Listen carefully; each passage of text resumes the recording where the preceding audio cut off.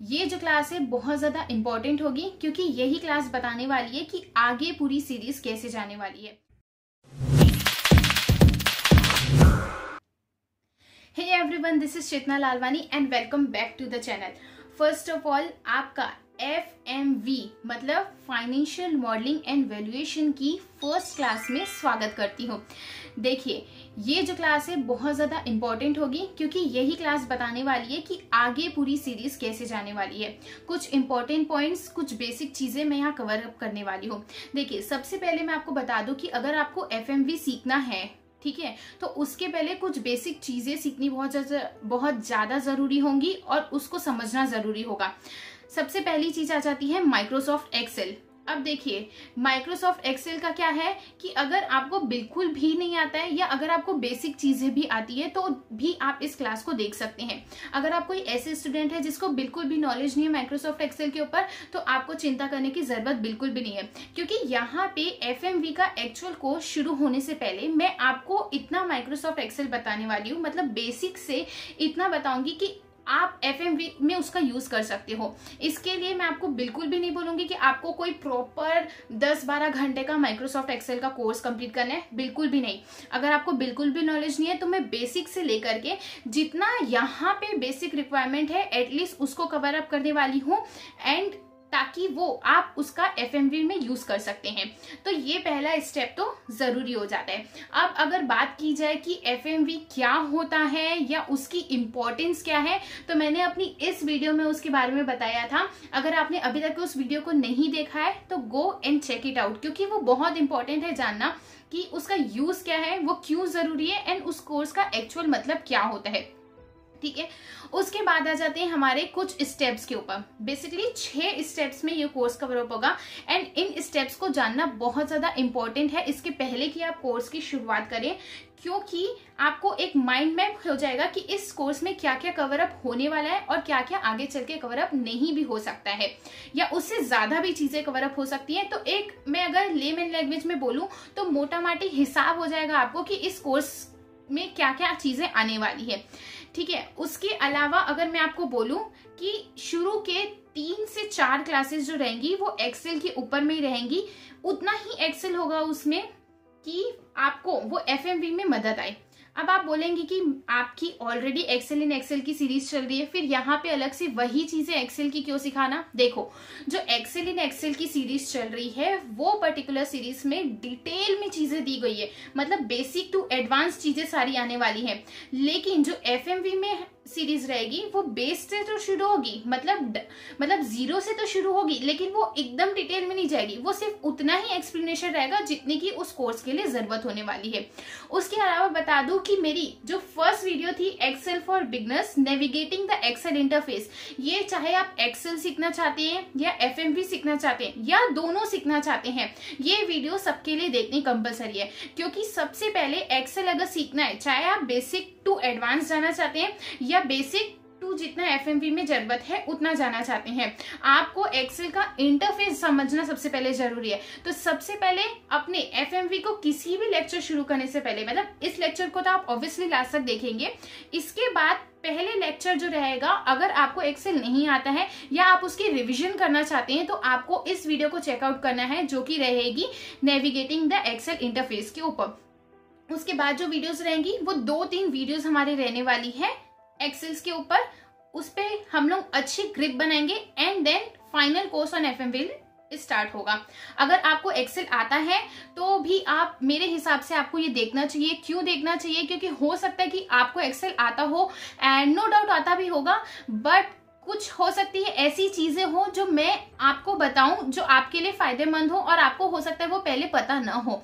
इसलिए मेरे हिसाब से you should definitely see the complete series ताकि आपको ये आइडिया हो जाए कि एक्सेल का किस तरह से आगे चल के एफ़ में यूज़ होने वाला है। उसके बाद फाइनल क्लासेस शुरू होंगी, लेकिन उसके पहले एक छह स्टेप की सीरीज़ है जो कि आपके लिए जानना बहुत ज़्यादा इंपॉर्टेंट है। अच्छा अब देखो स्टेप्स की अगर बात करें ना तो छह स्टेप्स में सबसे पहले स्टेप्स की अगर मैं बात करूँ तो लाइफ में अगर हम कुछ भी काम करते हैं तो हमको सबसे पहले जानना पड़ता है कि हम वो काम किस पर्पस के लिए कर रहे हैं। और यही हमारा पहले स्टेप रहेगा कि अगर आप एफएमवी सीख रहे हैं या आप एफएमवी कर रहे हैं तो वो किस पर्पज के लिए कर रहे हैं?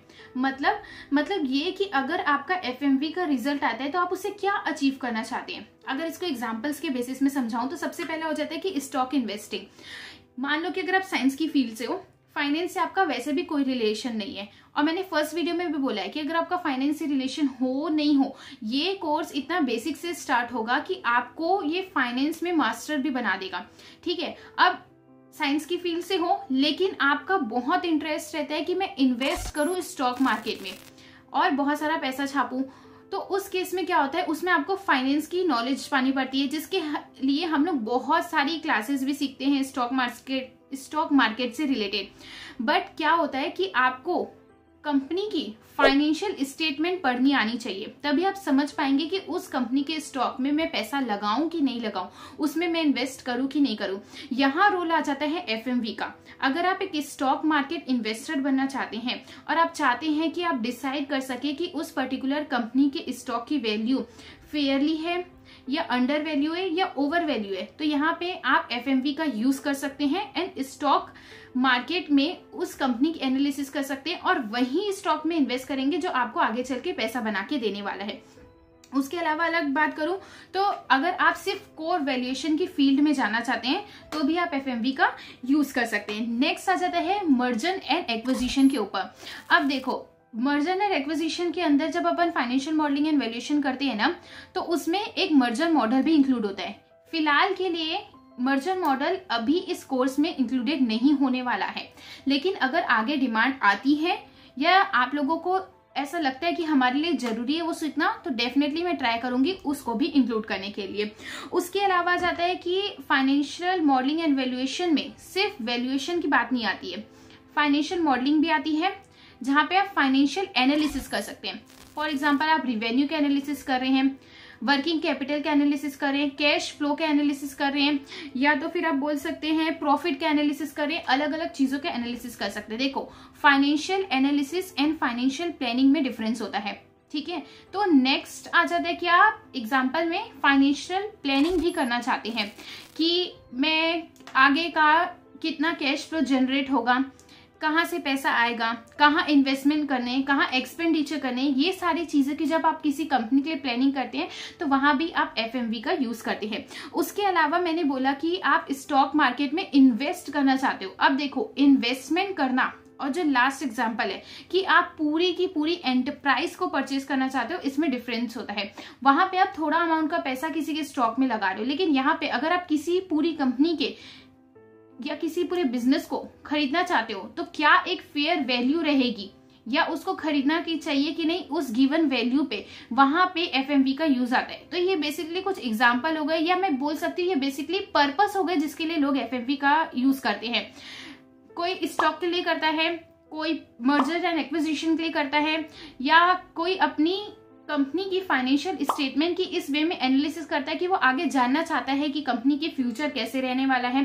प्लानिंग करता है कि कल को कहाँ से पैसा आना है, कल को कहाँ पैसा जाना है। उसके अलावा किसी को पूरा का पूरा बिज़नेस खरीदना हो या बेचना हो।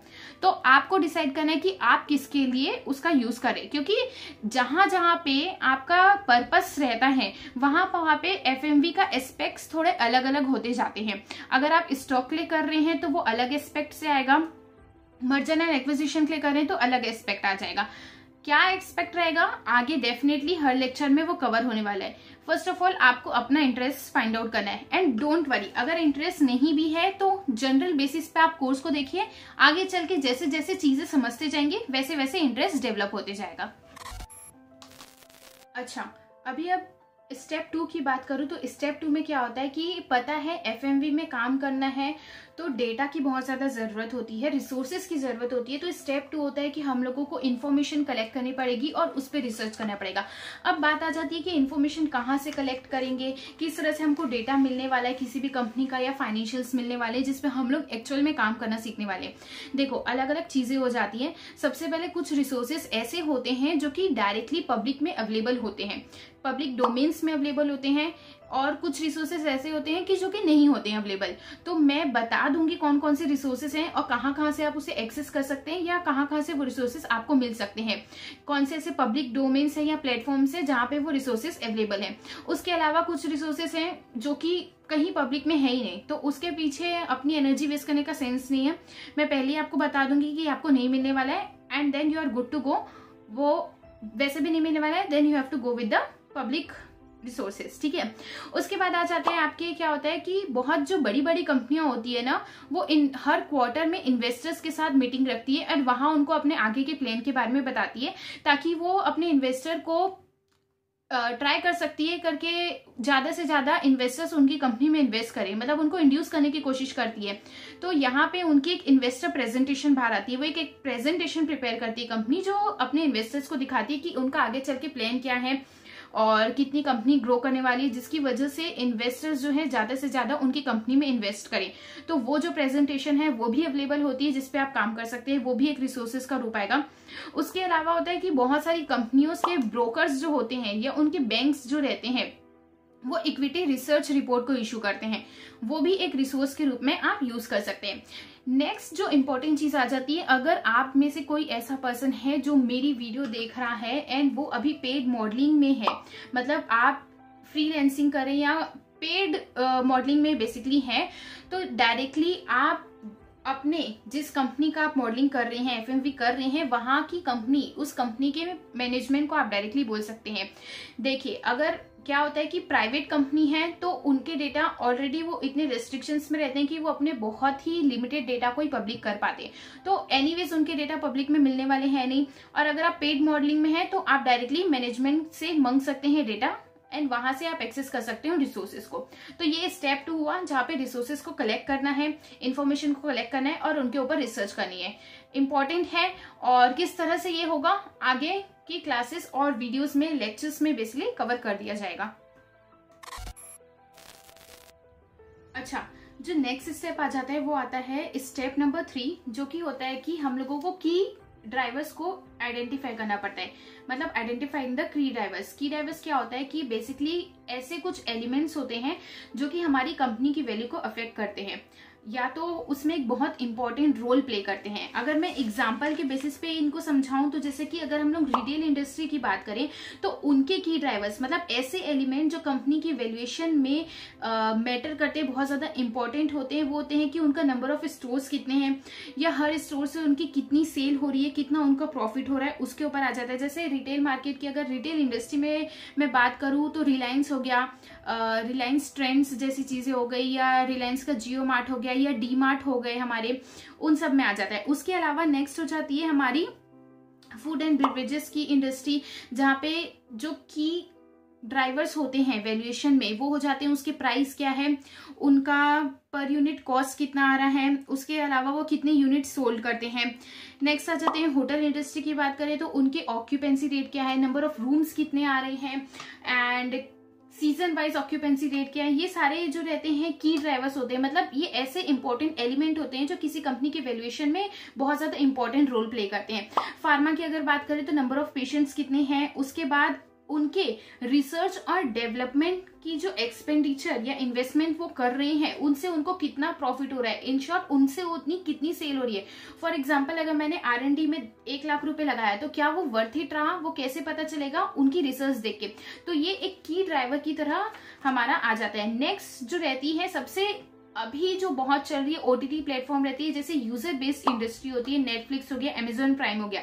इनके की ड्राइवर्स क्या रहते हैं? मतलब इनके ऐसे कौन से एलिमेंट रहते हैं जो अफेक्ट करते हैं हमारे वैल्यूएशन में? वो हो जाते हैं कि नंबर ऑफ़ कस्टमर्स उनके कितने होने वाले हैं।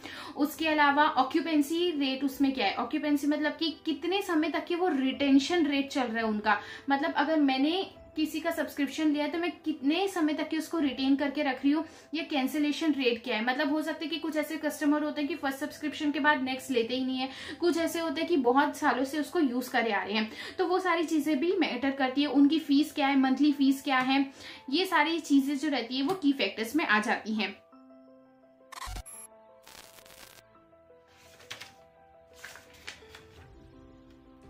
नेक्स्ट जो फोर्थ स्टेप आ जाता है, वो हमारा आ जाता है कि हम लोगों को पीयर कंपनीज़ की इन्फॉर्मेशन गैदर करनी है। मतलब कि उस पर्टिकुलर इंडस्ट्री में हमारी कंपनी के अलावा और कौन कौन सी कंपनी है, उसकी इन्फॉर्मेशन हम लोग को गैदर करनी पड़ती है। अब इसको अगर मैं मोटा माटी बोलूँ तो दो इंपॉर्टेंट पॉइंट इसमें आ जाते हैं। सबसे पहले आ जाता है अगर इन्वेस्टमेंट बैंकिंग का केस है तो उसमें हम लोगों को फेयरनेस ओपिनियन देखना पड़ता है। अब ये क्या चीज़ होता है, इसको समझाने के लिए बहुत डिटेल वीडियो चाहिए रहेगी तो वो आगे लेक्चर्स में जब भी टॉपिक आएगा, उसमें कवर अप हो जाएगा। इस टॉप इस चीज़ को बस आप जान लो कि फेयरनेस रिपोर्ट फेयरनेस ओपिनियन चाहिए रहता है जब इन्वेस्टमेंट बैंकिंग का केस आता है। नेक्स्ट आ जाती है कि आपको क्या करना पड़ता है कि वैल्यूएशन की ज़रूरत क्यों होती है कि नेक्स्ट क्या आ जाता है? नेक्स्ट ये होता है कि हम हमारा वैल्यूएशन किया। जैसे मैंने फॉर एग्जांपल किसी भी एक्स वाई जेड कंपनी का इबिट्टा निकाला मतलब earning before interest in taxes निकाला, ठीक है? अब मैं उसका इबिट्टा दूसरी पीयर कंपनी या पीयर फैक्टर्स के साथ कंपेयर करती हूँ। उसी इंडस्ट्री में मतलब कंपेरेबल कंपनी से कंपेयर करती हूँ। तो मेरे को आइडिया हो जाता है कि मेरा वैल्यूएशन सही आ रहा है कि नहीं आ रहा है। तो वो भी एक इंपॉर्टेंट स्टेप हो जाता है। फोर्थ स्टेप हो गया। नेक्स्ट जो फिफ्थ नेक्स्ट फिफ्थ स्टेप आ जाता है, जो कि एक बहुत ज़्यादा इंपॉर्टेंट स्टेप रहता है, वो रहता है कि हमें हमारी जो भी अभी तक के चार स्टेप में काम है। अब हम लोगों को फाइनल करना पड़ता है, जो नेक्स्ट आता है, हमारी एनालिसिस करनी पड़ती है। एनालिसिस कैसे करेंगे? हम हमारे हिस्टोरिकल डेटा को डालेंगे, उसके साथ ही साथ हम लोग जो भी डेटा बाहर से कलेक्ट किया है उस डेटा को डालेंगे, उसमें कुछ एडजस्टमेंट करके। ये सुनने में आपको लाइन थोड़ी अभी अनकंफर्टेबल सी मतलब आपको ये इजी टू अंडरस्टैंड नहीं लगेगी बट जैसे जैसे आप लेक्चर्स देखते जाएँगे, आपको ये चीज़ें समझ में आते जाएँगी। तो एनालिसिस बिल्ड करना है, चारों स्टेप में मेन काम हो गया। सबसे पहले आप लोगों ने स्टेप क्या किया? आप लोगों ने पर्पज फाइन करा कि किस पर्पज के लिए अभी मैं जो एफएमवी करने वाली हूँ। ठीक है, उसके बाद अगर मैं बात करूँ तो मैं ऐसे कौन कौन से रिसोर्सेस है कहाँ कहाँ से मैं रिसोर्सेस को कलेक्ट कर सकती हूँ जिसपे मुझे एफएमवी करना है। नेक्स्ट थर्ड स्टेप आ जाता है कि की ड्राइवर्स फाइन करना, कि ऐसे कौन कौन से एलिमेंट्स हैं जो हमारे वैल्यूएशन में सबसे ज़्यादा इंपॉर्टेंट रोल प्ले करने वाले हैं या उसको अफेक्ट करने वाले हैं। फोर्थ में हम लोगों ने देखा कि आपस में, और जो कॉम्पिटिटर कंपनीज़ होती हैं, या कुछ पीयर फैक्टर्स होते हैं कंपेरेबल कंपनीज़ होती है, उनके भी डेटा लेना ताकि हमारी जो वैल्यूएशन है वो और क्लियर और प्रिसाइज आ जाए। ठीक है तो ये चारों स्टेप करने के बाद फाइनल हम लोग एनालिसिस करते हैं हमारे डेटा का। ठीक है, उस पर सबसे पहले हिस्टोरिकल इन्फॉर्मेशन डाला। बाहर से अगर कोई आपने इन्फॉर्मेशन ली, उसमें कुछ एडजस्टमेंट किया, वो डाला, उसके साथ ही साथ आप जो रहते हैं कैलकुलेशन करते हैं, कुछ सिनेरियो का देखते हैं। सिनेरियो का देखते हैं इन द सेंस कि अगर मार्केट में बहुत ज़्यादा चेंजेस आ रहे हैं मार्केट में कुछ ड्रेस्टिक सिनेरियो चेंज आ रहा है तो उससे हमारी वैल्यूएशन में क्या इफ़ेक्ट आने वाला है, उसकी भी हम लोग एनालिसिस करते हैं। तो ये अभी तक के पाँच स्टेप हुए। नेक्स्ट अच्छा अभी जो लास्ट स्टेप है ना हमारा सिक्स स्टेप उसके बारे में बात कर लेती हूँ। अभी जितना भी आप लोगों ने काम किया है, आप लोगों ने एनालिसिस की डेटा कलेक्ट किया है की ड्राइवर्स को फाइंड आउट किया है, अपने पियर फैक्टर्स को फाइंड आउट किया है तो अभी ये पूरा काम होने के बाद सबसे इंपॉर्टेंट क्या है कि प्रेजेंटेशन अभी मान लो कि ये डेटा आप अपने लिए यूज़ नहीं करें आप लोगों ने किसी और के लिए काम किया तो डेफिनेटली इस पर्टिकुलर एनालिसिस का प्रेजेंटेशन बहुत ज़्यादा बहुत ज़्यादा ज़रूरी होता है। क्यों ज़रूरी होता है कि एनालिसिस करना एक जगह हो जाता है पर डेटा को एक बहुत क्लियर प्रिसाइज और इजी टू अंडरस्टैंड वे में प्रेजेंट करना बहुत ज़्यादा ज़रूरी होता है। चाहे आपने जितना भी अच्छा एनालिसिस करके रखो बट अगर आप प्रेजेंटेशन में अच्छे नहीं तो कोई सेंस नहीं हो सकता है। ठीक है अब प्रेजेंटेशन की बात अगर मैं करूँ तो आ, कुछ इंपॉर्टेंट बातें आ जाती है। सबसे पहले आ जाती है करके प्रेजेंटेशन में क्या क्या चीज़ें इंक्लूड हो जाती है। अगर देखा जाए तो मर्जर एंड एक्विजिशन का केस आ रहा है तो उस केस में बाइंग रेट क्या होगा, सेलिंग रेट क्या होगा, ये इंपॉर्टेंट आ जाता है। उसके अलावा, अगर आप, फॉर एग्ज़ाम्पल किसी म्यूचुअल फंड के लिए काम कर रहे हैं तो स्टॉक को किस रेट में सेल करना है, उससे रिलेटेड इसमें बात आ जाती है। कोई स्टार्टअप है तो फंडिंग से रिलेटेड बात आ जाती है। ठीक है, अब आ जाती है कि आपका जो भी कंक्लूजन आ रहा है या आप कुछ भी प्रेजेंट कर रहे हैं। प्रेजेंटेशन में मैंने बताया कि मर्जर एंड एक्विजिशन के केस में हम लोग बाइंग रेट और सेलिंग रेट ये सब चीज़ें प्रेजेंट करते हैं। एंड म्यूचुअल फंड वाले केस में बताया स्टॉक के प्राइसेस वगैरह प्रेजेंट करते हैं। लेकिन अगर बात की जाए तो आपकी जो प्रेजेंटेशन जो भी आपका कंक्लूजन आया है, वो किसी ना किसी रीजन के द्वारा सपोर्टेड होना चाहिए। And back backed by numbers होना चाहिए। मतलब कि क्या? आपका जो भी कंक्लूजन आया है, उसके पीछे एक लॉजिकल रीजन होना चाहिए और दूसरी चीज़ वो नंबर्स से सपोर्टेड होना चाहिए। पूरी फाइनेंस आप लोगों ने F M V financial modelling and valuation किया है और वो उस मॉडल को आप दिखा रहे हैं नंबर से सपोर्टेड होना चाहिए। नहीं तो हवा में बात तो कोई भी कर सकता है तो उस पर ज़्यादा रियलाइंस नहीं आता है। ठीक है? अब अगर प्रेजेंटेशन की बात करें तो प्रेजेंटेशन का जो रहता है अलग अलग स्टैंडर्ड्स होते हैं अलग अलग वे होते हैं टाइमिंग भी होता है। अगर बेस की बात करूँ तो बहुत लोग एम एस वर्ड का यूज़ करते हैं, कोई एम एस एक्सेल का यूज़ करता है, कोई पीपीटी का यूज़ करते हैं एंड बहुत से लोग जो है ओरल प्रेजेंटेशन भी प्रिफर करते हैं। बट ये प्रेजेंटेशन किसके लिए की जाती है? हो सकता है कि आप किस इन्वेस्टमेंट बैंकिंग वाली फ़ील्ड में तो किसी इन्वेस्टमेंट बैंकर के लिए कर रहे हैं, या वेंचर कैपिटल के लिए कर रहे हैं, या बहुत इंपॉर्टेंट और मैं जानती हूँ बहुत सी ऑडियंस जो इस वीडियो को देख रही है, आप अभी इंटरव्यूज़ के लिए प्रिपेयर कर रहे हैं और इन्वेस्टमेंट बैंकिंग की फ़ील्ड में भी बहुत मास्टरी हासिल करना चाहते हैं। शायद इसलिए आप इस कोर्स में हैं। तो हो सकता है इंटरव्यूअर को दिखाने के लिए अभी क्या होता है कि बहुत सारे इंटरव्यूज़ में इंटरव्यूअर बोलता है कि आप एक प्रॉपर आपको केस स्टडी देता है और उस पर आपको फाइनेंशियल मॉडलिंग करने के लिए बोलता है। ठीक है एफएमवी करने के लिए बोलता है। तो वहाँ पे आपको ये चीज़ शो करनी पड़ेगी। तो वो भी एक प्रकार के हमारे व्यूअर होते हैं। तो ये बेसिकली छह स्टेप्स हुए और बहुत ज़्यादा इंपॉर्टेंट स्टेप हुए जो आपको ध्यान में रखने पड़ेंगे पूरे कोर्स के अकॉर्डिंग इस इस वे में फाइनेंशियल मॉडलिंग एंड वैल्यूएशन का चीज़ें जाती हैं। ठीक है? एंड आई होप कि अभी तक की आपको ये चीज़ें बहुत क्लियर हुई होंगी। कुछ भी अगर आपको ऐसा लगता है कि मुझे समझ में नहीं आया या किसी चीज़ या किसी टॉपिक पे आपको और डिटेल चाहिए so do let me know on the comment section and you can feel free to connect me on linked वहाँ पे आप मुझे पर्सनल मैसेज भी कर सकते हैं टेलीग्राम चैनल भी है, वहाँ आप ज्वाइन कर सकते हैं, जहाँ पे इस कोर्स से रिलेटेड सारे रिसोर्सेज अपलोड किए जाएँगे। उसके अलावा मैं बोलूँगी आगे की क्लासेस जैसे जैसे बढ़ती जाएँगी, वैसे वैसे चीज़ें आपको और क्लियर होते जाएँगी। बट वो तभी होने वाला है जब आप इस चैनल को सब्सक्राइब करेंगे एंड बेल आइकन को हिट करेंगे सारे ही वीडियोस के लिए। एंड एक लास्ट इंपॉर्टेंट चीज़ के बारे में आपको बोलना चाहूँगी। जो नेक्स्ट लेक्चर आएगा उस लेक्चर को देखने से पहले मेरी रिक्वेस्ट है कि अगर आपको एक्सेल नहीं क्लियर है तो मेरी एक वीडियो अपलोडेड है। वहाँ पे आप एक्सेल का इंटरफेस देख सकते हैं। बेसिक चीज़ें मैंने वहाँ पे कवर की है। अगर क्लियर है रिविजन करना चाहते हैं तो भी देख सकते हैं। एंड अगर आप इतने क्लियर हैं और बहुत आपकी एक्सेल में कमांड बहुत अच्छी है if you don't want to see the video you can skip the part of the Excel and जहाँ से एक्चुअल चीज़ें शुरू हो रही है, वो भी आप देख सकते हैं। मेरा मेन पर्स मेरा मेन पर्पस ये है कि आपको एक्सेल आना चाहिए ताकि मेरे लिए आपको आगे चीज़ें एक्सप्लेन करना इजी हो जाए। ठीक है? तो I am not forcing you आप इस चैनल में देखिए बट कहीं से भी देखिए बट रिमेम्बर दिस कि आगे के लेक्चर्स में एक्सेल की कमांड थोड़ी अपनी स्ट्रॉन्ग करके आना। ठीक है? सो आई होप कि ये चीज़ें आपको क्लियर हुई है। Thank you so much thank you so much for watching the video till the end अगर आपके इस प्रीशियस टाइम को इस वीडियो ने थोड़ा भी प्रोडक्टिव बनाया है then do subscribe this channel and hit the bell icon ताकि आपको इतने इंपॉर्टेंट कोर्स की अपडेट रेगुलरली मिलती रहे. See you in my next video